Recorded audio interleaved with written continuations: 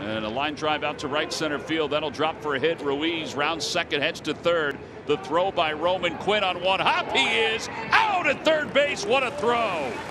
Don't you dare run on me. If that stands, that'll be his second outfield assist of the year. And it was perfectly thrown.